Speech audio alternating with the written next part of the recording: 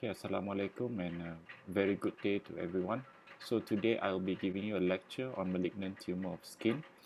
So as a customary, uh, I would like to share you some life lessons.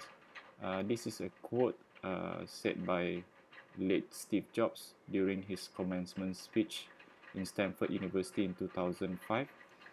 Uh, in that speech, he said this quote, stay hungry, stay foolish.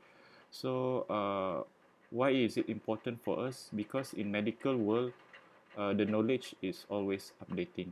So whatever I said to you today is a, a standard of practice uh, for today, but it might not be as such uh, in the future when you are uh, practicing later on.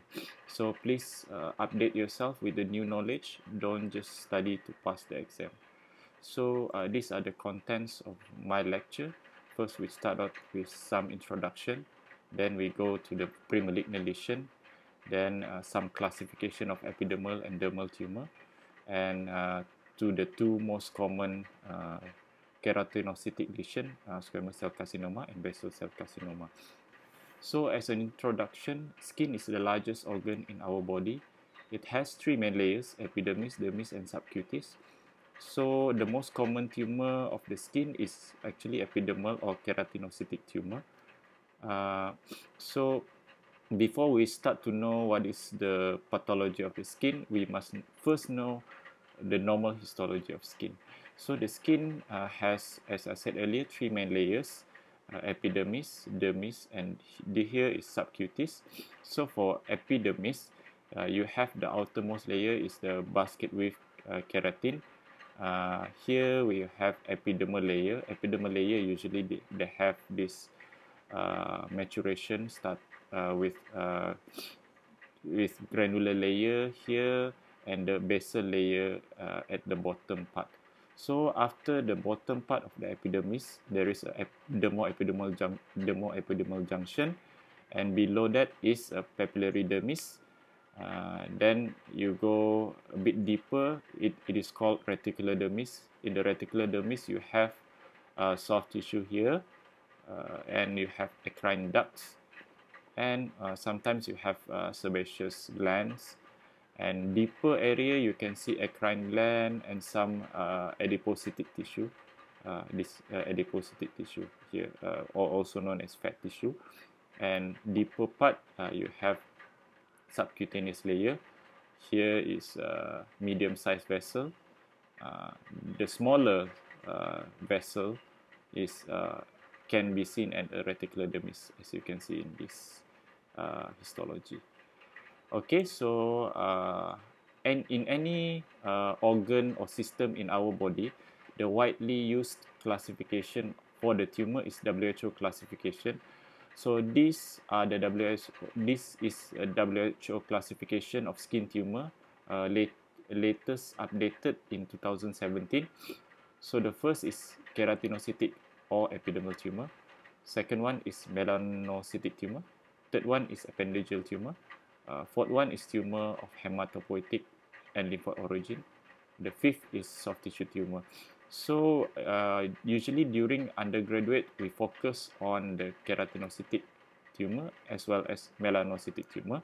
Uh, but today I will be touching also a bit on classification of appendageal tumor. And uh, for melanocytic tumor, I will be touching it on the next lecture later on. Okay, for keratinocytic or epidermal tumor, uh, you have uh, benign stimulant uh, carcinoma precursor, uh, carcinoma in situ, uh, squamous, uh, usually it's a squamous cell carcinoma in situ, and uh, also carcinoma. So for malignant lesion, here is only carcinoma, but I will be explaining a bit on the precursor lesion as well as uh, squamous cell carcinoma in situ. For benign stimulants, I believe it's already been touched uh, on in previous lecture, uh, benign tumor of skin. However, uh, just to give you the brief classification, the benign stimulant include Verruca. Verruca is uh, can be divided into three uh, variant, which is Verruca vulgaris, Verruca plantaris, Verruca plana. Uh, each has a different site uh, predilection and different uh, histological feature. Then you have benign acanthoma or keratosis. The most common one is seborrheic keratosis. Less common one, solar lentigo, lichen planus-like keratosis, clear cell acanthoma, warty disc keratoma, and other benign keratosis. For carcinoma precursor, the one uh, known uh, is pre premalignant uh, precursor is premalignant keratosis, which can be divided into three: actinic, arsenical, and keratosis. And then you have uh, squamous cell carcinoma in situ, and also this uh, the main bulk of the lecture is uh, squamous cell carcinoma and basal cell carcinoma. Uh, in this classification, it uh, it also include Merkel cell carcinoma. However, I won't be touching this uh, topic, uh, this entity, because uh, I think it's it's more on the postgraduate level. For your level, I think squamous cell carcinoma and basal cell carcinoma is a must know for a tumor of skin. So we go go on to malignant appendageal tumor. So malignant appendageal tumor you can divide into malignant tumor with apocrine and eccrine differentiation, malignant tumor with follicular differentiation, malignant tumor with sebaceous differentiation, and also site-specific tumor. So uh, there, there are uh, benign uh, malignant appendigeal tumor, uh, but I won't be covering in this lecture. So uh, just a brief, uh, brief introduction on the appendigeal tumor, uh, which the first one is uh, malignant tumor with apocrine and acrine differentiation. So for malignant tumor on this uh, apocrine and acrine differentiation, you have adnexal carcinoma, uh, NOS, uh, microcystic adnexal carcinoma, uh, malignant neoplasm arising from spiral adenoma, cylindroma, spiral adenosyndroma, malignant mixed tumor, hydradenocarcinoma, mucinous carcinoma, endocrine mucin producing sweat gland carcinoma, digital papillary adenocarcinoma, adenoid cystic carcinoma, apocrine carcinoma, squamous acrine duct carcinoma, syringocyst adenocarcinoma papilliferum, secretory carcinoma, cribriform carcinoma, and signet ring or histiocytoid carcinoma. And then in the malignant appendageal tumor, also you have malignant tumor with follicular differentiation. Uh, you have this is uh, in this uh, entity you have pilomatrical carcinoma, proliferating trichilemmal tumor, trichoblastic carcinoma or carcinosarcoma, and also you have trichilemmal carcinoma. So malignant tumor with follicular differentiation means they have this uh, a bit of uh, hair follicular differentiation lah. So each of these tumor has a uh, evidence of uh, some follicular differentiation. And you have site-specific tumor, uh, which is for malignant is mammary Paget disease, extramammary Paget disease, adenocarcinoma of anogenital mammary-like glands.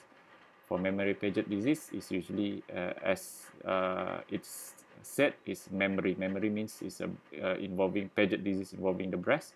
Extra mammary Paget disease is Paget disease uh, involving uh, outside the breast, usually in the vulva, and uh, this anogenital is basically in the anal and genital region. So uh, in neoplastic process of the skin, usually you have uh, benign, benign stimulant. Benign benign benign usually uh, it's uh, almost uh, almost never proceed to malignant lesion lah.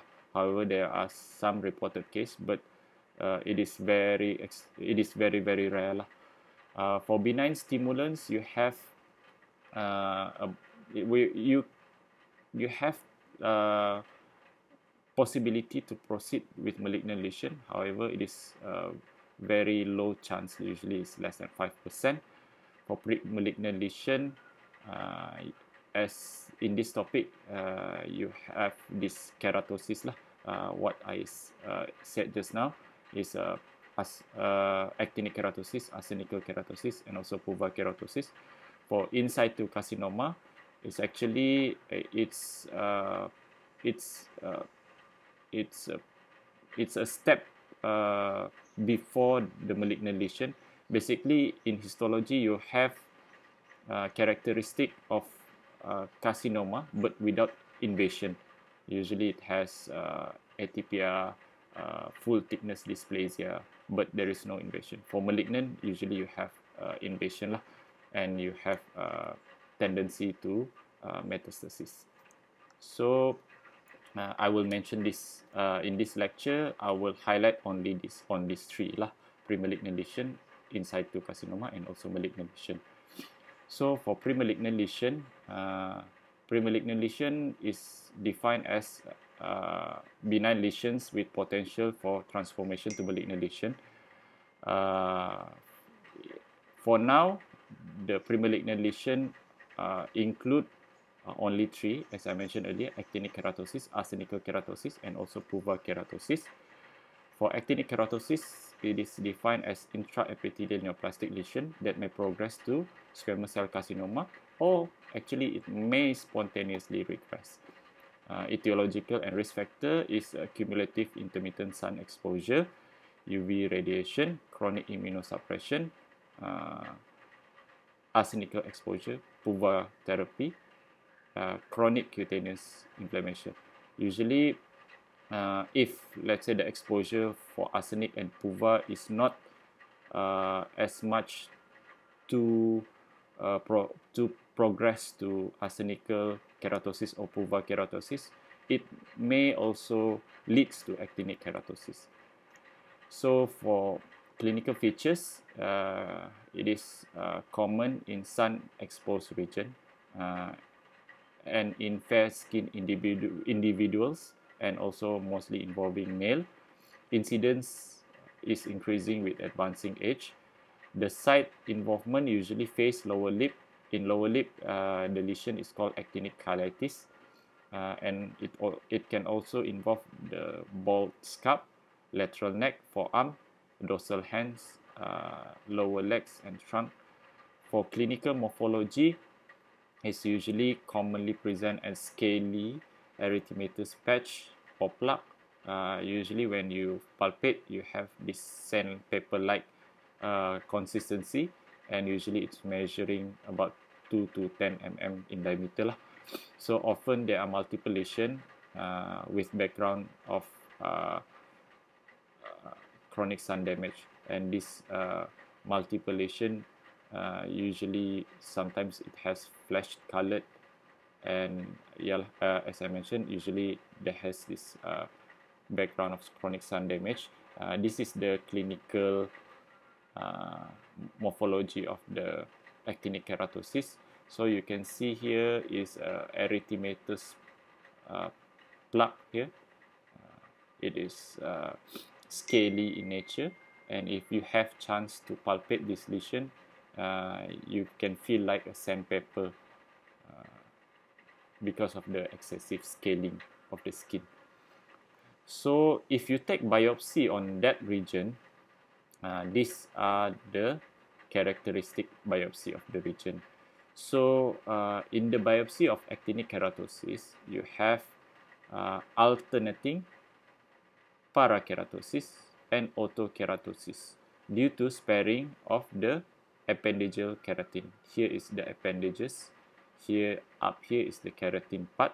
So uh, usually at the appendageal area, you have this uh, sparing of uh, keratin, uh, meaning to say uh, there is hyperkeratosis, but there is no parakeratosis. So this hyperkeratosis without parakeratosis is also known as orthokeratosis. So uh, in alternating one, you have parakeratosis. Parakeratosis means you have uh, retain of nucleus in the keratin layer. Here in the keratin layer, usually there is maturation and when it mature in normal skin, usually you don't have nucleus. But here you have uh, nucleus. So this phenomenon is known as parakeratosis in histology. So there is again alternating parakeratosis and orthokeratosis. And beneath the parakeratosis area here, you can see there is a uh, there is a disordered maturation or you can say it's, there is a dysplasia meaning uh, you have loss of skin maturation usually the cell uh, have some form of pleomorphism pleomorphism means variation in size and its nucleus usually a bit enlarged some can have prominent nucleoli so uh, in this uh, classical uh, histological features, you can diagnose actinic keratosis. So again, uh, this uh, is actually one of the most uh, one of the precursor. So the treatment of actinic keratosis, as I mentioned earlier, it may regress spontaneously, remain stable, or may progress to squamous cell carcinoma. So the treatment usually uh, usually aim to remove the affected area and avoiding scars or other disfiguring marks. Uh, so uh, the form of treatment usually you can use cryotherapy or topical treatment using 5-fluorouracil, imiquimod or diclofenac. So this treatment usually destroyed the affected layer of epidermis. Uh, the outermost layer will be uh, will be uh, taken off by this uh, topical treatment and usually it cures the actinic keratosis. So other localized treatment, uh, they may do a photodynamic therapy, laser surgery, chemical peeling, and also uh, some plastic surgeon may do a shave excision, curettage, or electrodesiccation. Uh, annual rate of malignant transformation is less than 1 per 1000 cases and usually it's higher among higher risk cases uh, higher risk cases usually is a higher cumulative uh, chronic sun damage lah, and also higher UV radiation uh, exposure. So uh, then you have uh, the second one uh, of the premalignant lesion. Uh, you have arsenical keratosis. So it's defined as hyperkeratotic lesion that occurs in patient with previous exposure to arsenic uh, epidemiology, uh, usually the lesion may develop after latency period of 20 to 30 years after initial exposure. Uh, usually exposure is uh, systemic. Um, uh, usually it's involved the palm, lateral surface of fingers, soles, heels and toes. So for clinical morphology, you have melanosis. Melanosis is a dark, uh, dark pigmentation of the skin, followed by yellowish here yellowish pinpoint verrucous papules uh, is usually 2 to 10 mm in diameter okay so uh, histologically arsenical keratosis uh, you have uh, full thickness atypia of epidermis uh, in actinic keratosis usually the dysplasia uh, varies. Usually, some have uh, lower one third, some up to middle one third, and uh, very rarely you have full thickness dysplasia. For arsenical keratosis, usually it has uh, full thickness dysplasia with dysregulated granular layer. Here, the granular layer, the dark area at the uh, at the surface below the keratin layer you have some are thickened some lost so this called dysregulated granular layer and also you have uh, within the epidermis you have uh, vacuolization vacuolization of the cells uh, meaning uh, the cytoplasm is uh, vacuolated uh, and usually it's uh, clear when you see the under microscope it is it clear in color lah which is helpful but it is not a diagnostic features. And of course you have this hyperkeratosis as well so the treatment it may grow over the years uh, and can progress to uh, squamous cell carcinoma when this lesion progress to squamous cell carcinoma, usually uh, the presentation is late and usually it's metastatic. Uh, and uh, arsenic keratosis uh, usually can be treated with cryotherapy, curettage, and diathermy. Or if numerous, you can use a topical imiquimod and oral acitretin. and um, if, let's say, uh, this lesion that uh, pro progress to pain, bleeding, fissuring, and ulceration, uh, it's a predict predicting factor for progression to squamous cell carcinoma.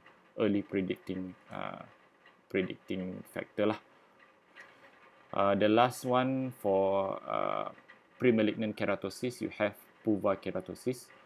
So PUVA keratosis is a hyperkeratotic lesion that occurs after prolonged exposure of psoralen and ultraviolet A therapy. Uh, so what is PUVA or also uh, or uh, psoralen and ultraviolet A therapy is actually a therapy used to treat psoriasis and some cutaneous T-cell lymphoma. Uh, however, uh, prolonged exposure might lead to keratosis.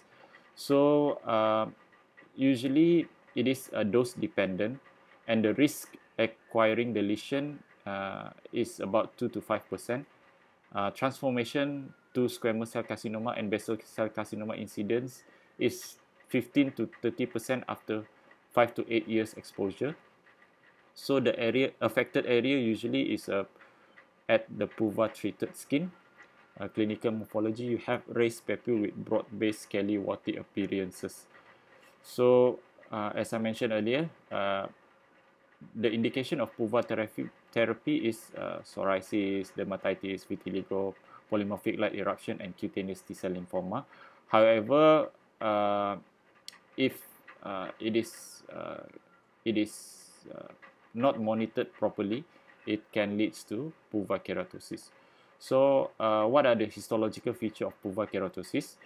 The classical uh, histological feature, uh, you can see uh, there is a prominent atypia at the basal layer.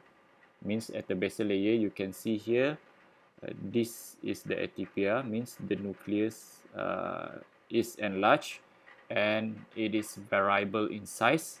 You can see here at the middle part, the nucleus is smaller. At the basal part, you have uh, enlarged nucleus with prominent nucleoli. You can see here the dot in the center is the nucleoli, uh, and there is a focal uh, squamatization. Uh, means there is a uh, some of the some of the cells have this uh, eosinophilic dense eosinophilic cytoplasm uh, which is uh, resembles squamous lah. Uh, means characteristic of squamous. So it's called uh, squamatization.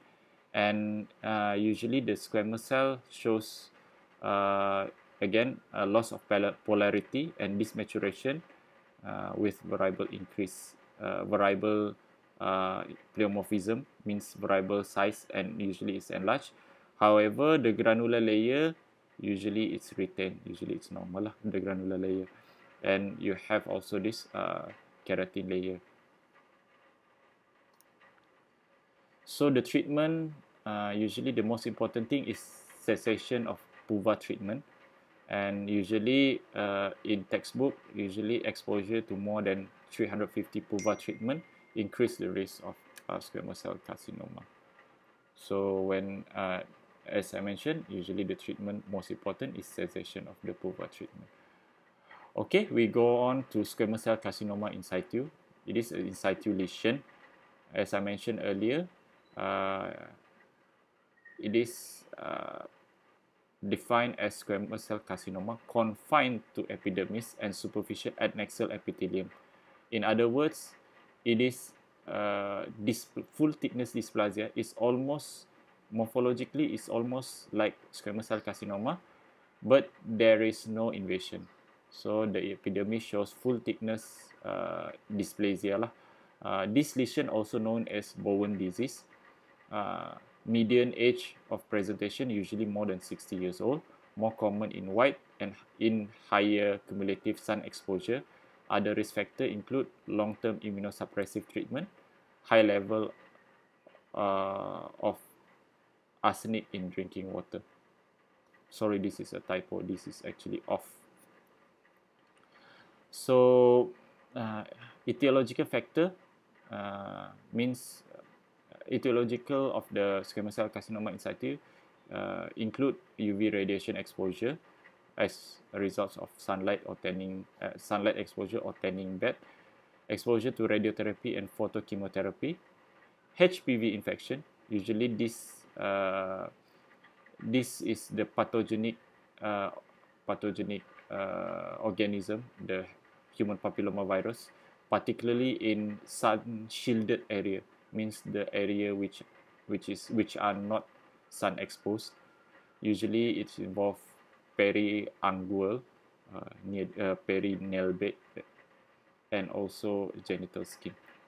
Uh, and other etiological factor is arsenic ingestion so it's involve uh, commonly lower limb head and neck hands and less commonly subungual periungual and genital as well as perianal region. Uh, clinical morphology usually it is solitary, means it is uh, only one, and it is slow growing, uh, scaly.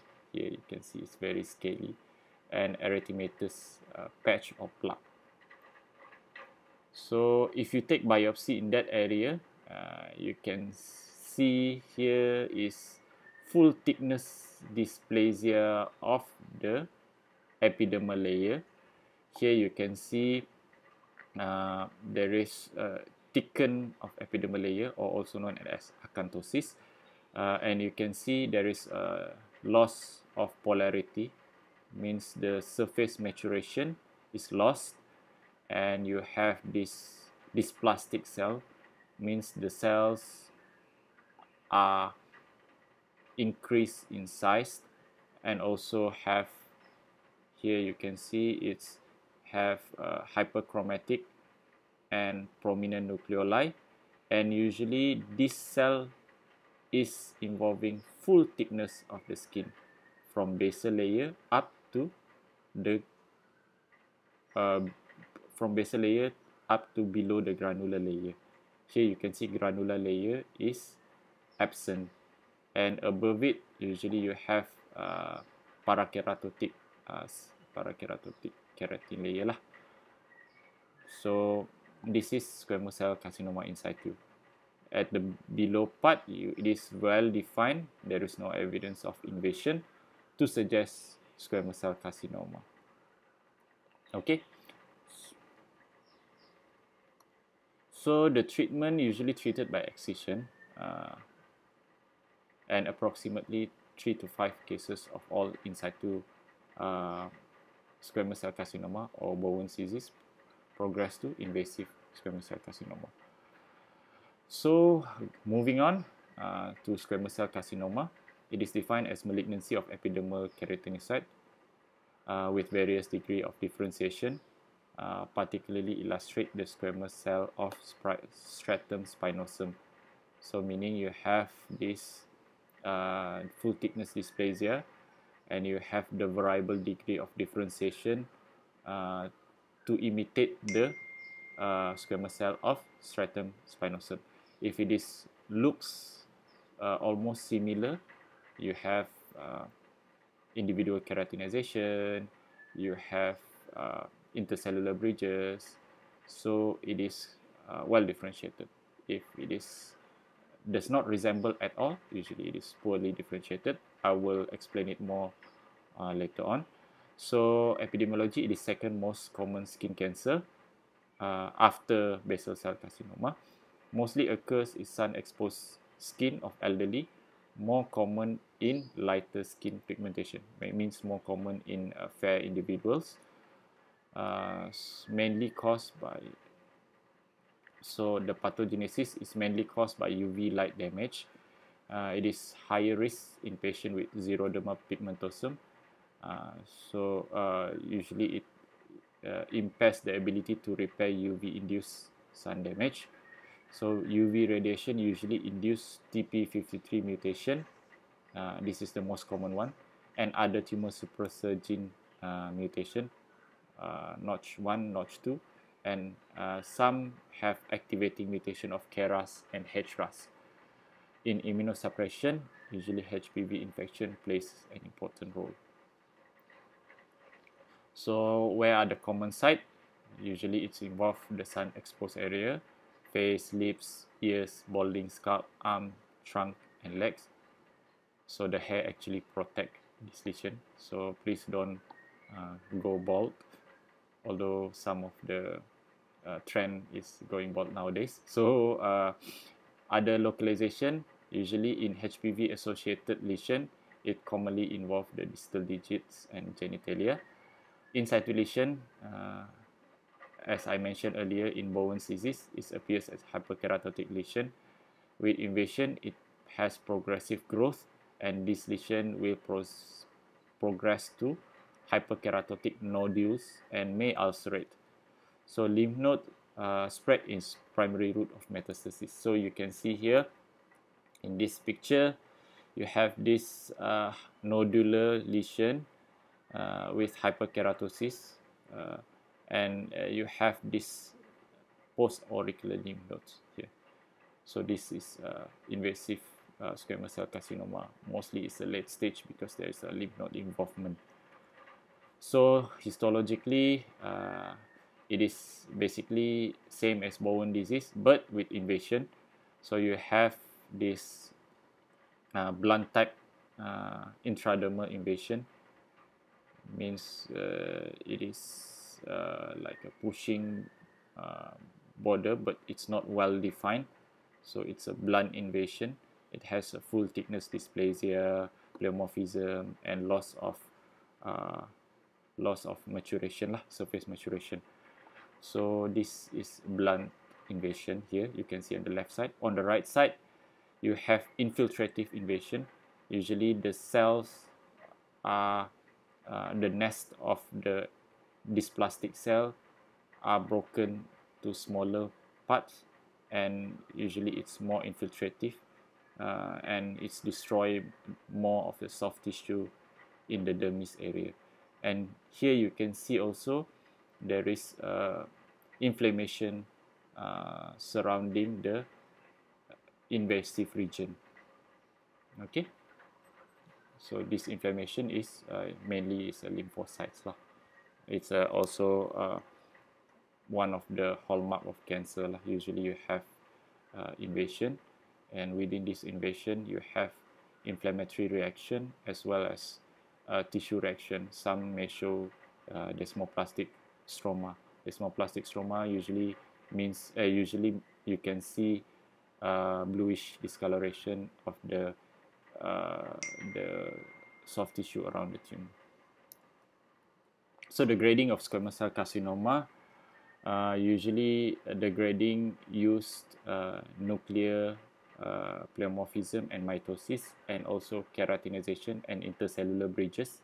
As I mentioned earlier, uh, it's uh, the if it is mimical of uh, spi- strat- is stratum spinosum layer of squamous cell, uh, it's uh, more um, it, it will have the keratinization and intercellular bridges so it's more of well differentiated but if it is uh, nearly absent is poorly differentiated however if there is uh, nuclear pleomorphism and mitosis uh, abundant usually it is uh, classified as poorly differentiated and if the nuclear pleomorphism uh, and mitosis is scanty or absent, usually we classify as well differentiated. So this grading applies to any squamous cell carcinoma of head and neck, lung, abdominal organs, and also the skin. So uh, as a rule of thumb, uh, the closely it resembles uh, the spinous uh, stratum spinosum normal squamous epithelium, it is uh, more well it is uh, it is well differentiated whereas if you cannot you cannot identify it is almost you cannot differentiate whether it's squamous cell or not. Usually it is poorly differentiated. Uh, anything in between is moderately differentiated. Uh, so it is uh, generally emphasized nuclear uh, features and mitosis. Basically nuclear features is more important uh, to assign the grades rather than the keratinization alone. So uh, for HPV related uh, squamous cell carcinoma of oropharynx usually we don't grade the tumor because usually it's uh, it has a better prognosis. As for adenocarcinoma grade is assigned based on least differentiated area.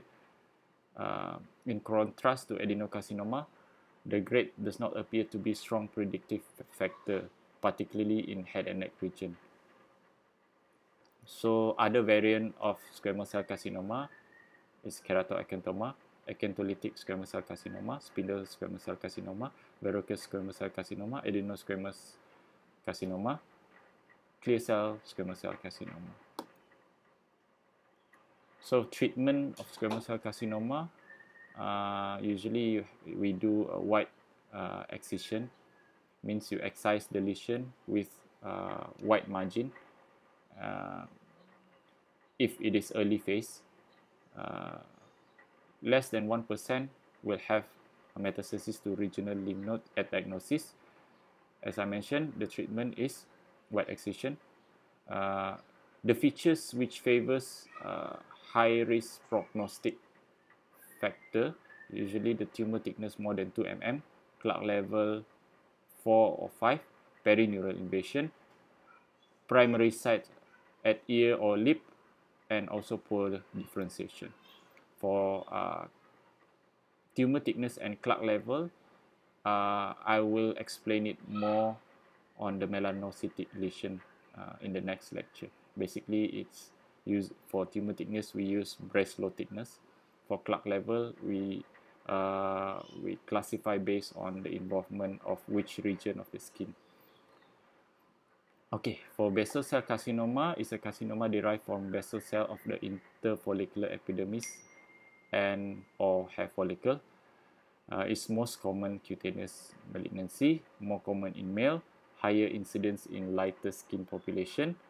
Etiology, most important, is UV radiation. It is uh, increasing in incidence at 30,000 hours of cumulative sun exposure and flattens means uh, if individuals has uh, more than 30,000 say for example 40,000 the incidence is similar with the individuals who has exposure at 30,000 hours. In contrast to squamous cell carcinoma uh, which the longer you exposed to sun exposure the higher chances you have uh, squamous cell carcinoma. Uh, other etiologies are ionizing radiation and systemic arsenic exposure. So, pathogenesis of uh, basal cell carcinoma. Uh, so, it is basically uh, the hedgehog signaling pathway. So, aberrant activation of hedgehog signaling pathway is the hallmark of BCC pathogenesis. So, basically, uh, this uh, pathway uh, usually the PTCH1 gene inhibits the hedgehog signaling pathway in unbound configuration. So it functions as a tumor suppressor gene. So uh, PTCH1 pathway is a patch 1 membrane receptor uh, patch 1 membrane receptor. So the gene encodes it is uh, basically uh, if let's say the gene is mutated, uh, you have abnormal activation of this pathway when there is a hedgehog extracellular hedgehog ligand bind to the PTCH1. So it's uh, overly expressed. When it is overly expressed, it's uh, will will activate the uh, the pathway of smoothen uh, protein. And uh, after that this protein will activate the suppressor of fused and zinc finger protein GLI1 to produce to express GLI1 protein. And this GLI1 protein will target the gene uh, GLI1, PTCH1 and hedgehog intercell interacting protein. So when it is activated, you have uh, you have uh, overexpression of PTCH1 as well as GLI1. So uh, more than 90% of uh, sporadic uh, BCC harbor mutation on at least one allele. Usually, for it to be um, fully mutated, you must have a double hit, which is two allele mutation. But for sporadic, sporadic means it is not inherited uh, BCC. So in non-inherited BCC, uh, you have at least uh, one allele mutation. But in inherited BCC, uh, which uh, usually uh, you uh, in you can see that in Gorlin syndrome, which is autosomal dominant disorder caused by inherited defect in PTCH1 gene. It is associated with familial BCC. So uh, usually you have, uh, uh, as I mentioned earlier, PTCH is overexpressed in BCC. So usually you have one hit uh, and then you have second hit by UV light damage. So this UV light damage is uh, causing the TP53 mutation and common in both familial and sporadic tumor. So these are the references. So uh, BCC usually involve the head and neck region. Head is most common. Um, and also can involve trunk and less commonly genital region, nail unit, palm and sole. Classical presentation, it has pearly telangiectatic papules which may erode and ulcerate. So here you have this uh, smooth pearly papules. Uh, you have this tele telangiectatic vessel means the vessel is uh, uh, ectatic means it's uh, dilated lah. Uh, and also uh, it's pearly in color. Uh, so as uh, it progress, usually this may ulcerate. Uh, so uh, some may present early like this, some may present as ulceration, uh, ulcerating lesion. So as you can see here, these are the typical tum uh, the typical histological features of basal cell carcinoma. Usually you have this malignant basaloid cell. Uh, usually it attached to the undersurface of epidermis, uh, but in this uh, picture you cannot see it, but commonly it's attached to undersurface of epidermis. And then these cells uh, usually is basaloid. Basaloid means it's look bluish and uh, it's infiltrating the stroma. Characteristic, you have this peripheral palisading, means you have like a nice fencing at the periphery region. And this uh, in between the tumor and the stroma, you have this uh, characteristic uh, retraction artifact. Uh, it is uh, actually artifact due to sectioning uh, during processing of the of these slides.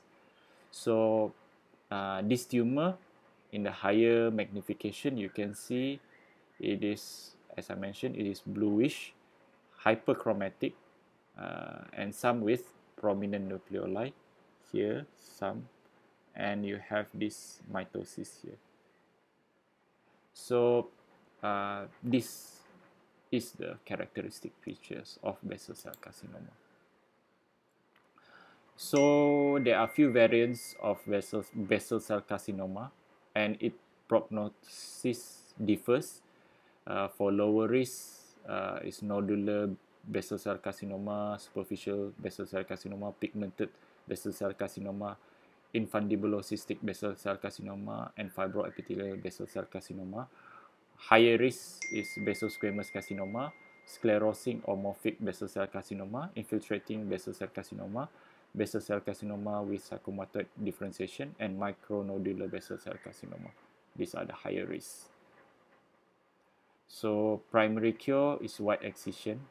40% of patients will develop recurrence within 5 years. Advanced lesion may ulcerate and extensive local invasion of bone and facial sinus may occur if the lesion are left neglected. Metastasis is rare. Uh, so these are the reason why we need to learn the uh, the pathogenesis because the treatment uh, in the future is involving involving targeted treatment. So from what uh, we learn from the pathway, so the uh, the treatment involve inhibit uh, the hedgehog pathway so that you can target only the uh, tumor cells and sparing the uh, normal proliferating cell so you have less um, less side effects of the chemotherapy and you have higher efficiency to kill the tumor uh, even in advanced or metastatic tumor. So these are my reference uh, and thank you uh, for your attention.